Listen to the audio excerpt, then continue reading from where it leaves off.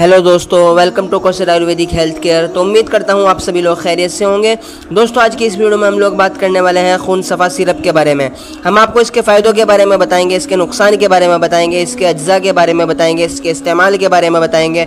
और ये दवा आपको कहाँ से अवेलेबल होगी, सब कुछ आपको इस वीडियो में बताया जाएगा। तो बने रहिए वीडियो में लास्ट तक। और उससे पहले अगर आप हमारे चैनल पर नए हैं तो हमारे चैनल को सब्सक्राइब करना ना भूलें। और कमेंट करके ज़रूर बताएँ कि आपको वीडियो कैसी लगी। तो दोस्तों, सबसे पहले बात कर लेते हैं इसके फ़ायदों के बारे में। तो मैं आपको बताऊँ, ये रक्त शोधक, यानी कि खून साफ़ करने के लिए बेहतरीन दवा है। जिल्द की तमाम बीमारियों के लिए बेहतरीन इलाज है।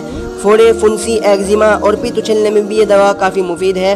चेहरा निखारती है और हर मौसम में, हर उम्र के लिए ये दवा काफ़ी मुफीद है। और दोस्तों, अगर बात करें इसके फार्मूले की, यानी कि किन किन चीज़ों से मिलकर ये दवा को तैयार किया गया है तो मैं आपको बताऊँ, बरगे शाहतरा बुरादा संदल सफ़ेद बुरादा संदल सुर्ख, बरगे सनामकी, नीलकंठी बरम डंडी जैसी कई सारी दवाएँ इसमें इस्तेमाल की गई हैं इस दवा को बनाने के लिए, और ये 380 ml की पैकिंग आपको किसी भी आयुर्वेदिक शॉप से खून सफ़ा के नाम से आसानी से अवेलेबल हो जाएगी। एक सौ की एमआरपी के साथ इसका कोई भी किसी भी प्रकार का साइड इफ़ेक्ट नहीं है। बात कर लेते हैं इसके इस्तेमाल की। तो दोस्तों, बीस एम सुबह बीस एम शाम आप इसका इस्तेमाल कर सकते हैं। बाकी आप इसका इस्तेमाल अपने डॉक्टर की देख रेख में करें तो बेहतर है।